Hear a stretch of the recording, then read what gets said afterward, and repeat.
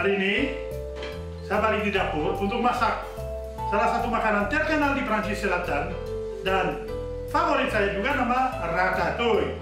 Semua orang sudah pernah nonton ini tikus lucu-lucu masak di dapur sama chef dengan topi besar. Ini saya mau kasih rahasia untuk bikin ratatouille ala nenek saya. Ayo, kita siap, ikut saya. Ini adalah bahan untuk masak ratatouille. Di sini ada 300 gram saus tomat buatan sendiri. Ada dua zucchini dan dua terong. Ada dua buah paprika hijau, saya sudah dibuang biji.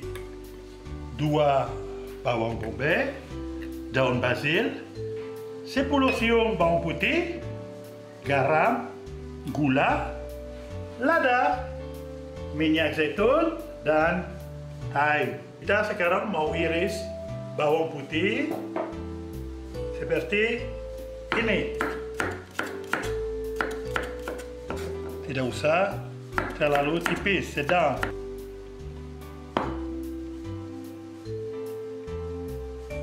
Kemudian kita sekarang mau potong bawang bombay, dadu sedang jangan terlalu kecil lah, seperti ini. Oke. Okay.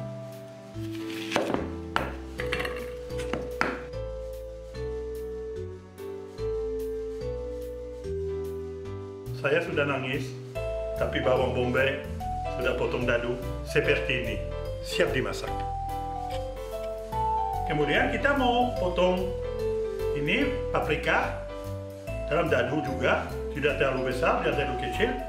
Hari ini saya masak pakai paprika hijau. Kalau mau diganti dengan paprika merah, kuning, atau campur, silakan. Warna lebih cantik pasti.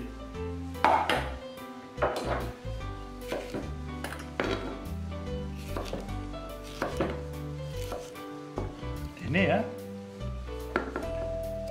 Tidak usah terlalu rata. Ini paprika kita sudah siap, sudah potong dadu, kurang lebih satu kali satu ya, oke. Lihat seperti ini. Sekarang kita potong zucchini. Hati-hati di dalam zucchini ada banyak biji. Terus biasa saya biji, maaf ha, tapi dibuang ini. Ini tidak ada tekstur juga. Ini saya potong ini ukuran seperti paprika tadi ya. Oke, kurang lebih ya. Zucchini sudah siap. Ini biji sudah dibuang. Tapi kalau mau bisa bikin sop juga karena masih ada rasa. Sekarang kita mau potong terong. Terong ukuran seperti zucchini tadi. Ayo kita mulai. Terong sudah potong. Kalau sudah potong, karena oksidasi, jadi cepat hitam. Saya ditaburi sedikit garam, terus dicampur segini. Oke? Semua sayur sudah siap. Kita sudah bisa mulai. Kita mulai masak. Pertama kita mau tumis bawang putih dan bawang bombay di dalam panci ini saya tuang minyak zaitun. Waktu api sudah panas, saya tambah bawang putih dan bawang bombay dan ditumis pelan-pelan. Ayo. Sekarang tambah bawang bombay. Terus di panci ini saya kasih minyak juga. Terus mau tumis. Satu persatu paprika, zucchini, dan terong.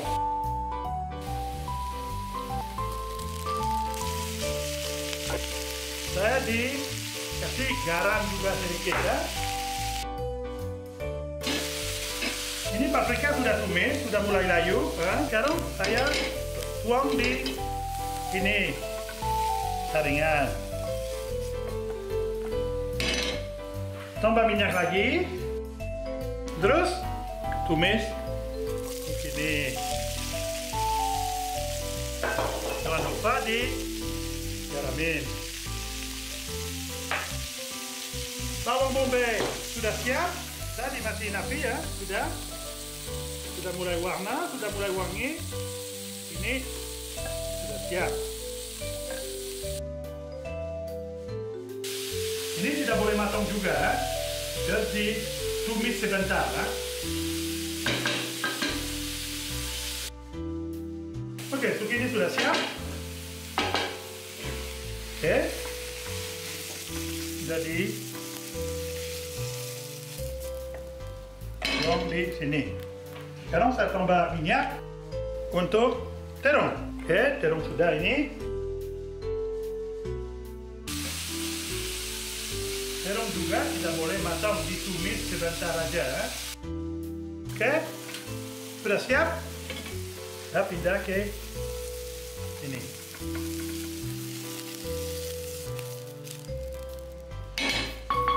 Sudah siap? Banyak orang pasti tanya, kenapa ini tidak langsung ini cemplung di panci sana? Ini paling penting, karena di sayur ini banyak air. Terus air harus dievaporasi dulu sebelum dimasak. Kalau terlalu banyak air, harus masak lebih lama, terus sayur jadi layu, tidak ada tekstur lagi. Saya sudah lama di Indonesia. Lidah saya kalau tidak pedas, tidak suka, terlalu lembab.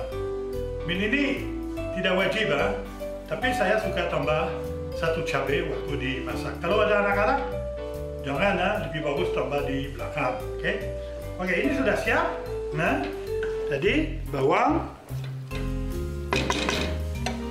Saya sekarang lihat di dalam ada air. Ha?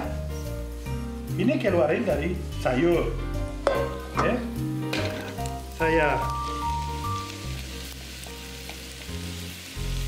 tambah sayur di sini. Saya tambah kurang lebih satu sendok, satu sendok setengah gula. Oke. Tambah kurang lebih satu sendok garam. Jangan lupa ini sayur sudah asin. Terus di sini ada thyme. Thyme sudah kering, wangi. Kalau punya ada dapat fresh atau segar bisa diganti ya. Saya ambil sedikit. Kurang lebih seperti ini ya. Oke. Okay. Ini. Terus lada. Harus berani sama lada karena sayur biasa ada rasa lembab. Terus cabai saya kasih satu ya. Oke. Okay. Utuh, tidak usah digeprek, tidak usah diiris, langsung. Nah di sini ada daun basil. Saya tahu daun basil seperti ini, utuh. Kurang lebih enam. Hmm. Diaduk. Terus sekarang ini saus tomat. Saus tomat ini sangat gampang. Saya biasa beli tomat, sangat tidak layu tapi sangat matang di pasar. Terus saya dibuang, dipotong dua, dibelah dua, dibuang biji, buang air, terus di blend. Saring, sisa saya dimasak sampai jadi kental. Tidak usah pakai garam, tidak usah pakai gula, tidak usah pakai bawang putih.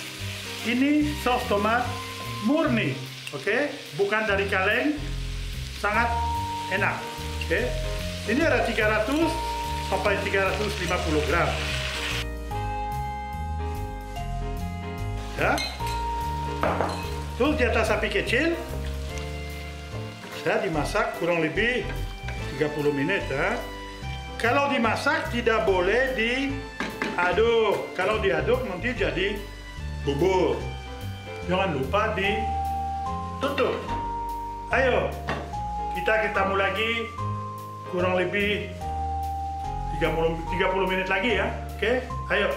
Sudah 30 menit, sekarang kita harus cek. Oh, wangi banget, tapi masih banyak air. Min menurut saya, saya tambah 10 sampai 15 menit lagi sampai benar-benar ini lebih kering. Ayo, apa kita mau setelah 5-10 menit lagi. Sudah barusan tambah 15 menit, Terus menurut saya ratatouille kita sudah matang. Ayo kita periksa.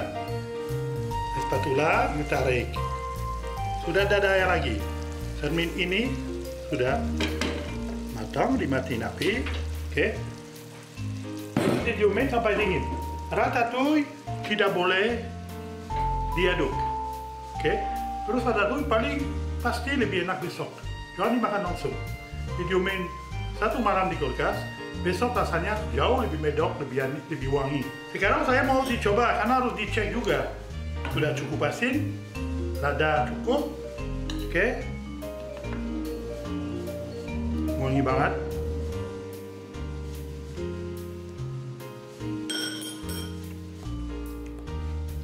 Enak. Enak sebenarnya. Salt, pepper sudah pas banget. Tidak asam, manis pas. Ini perfect banget. Oke. Kalau Anda suka video ini, jangan lupa di share, di like, dan di subscribe. Oke, sampai jumpa. Dadah.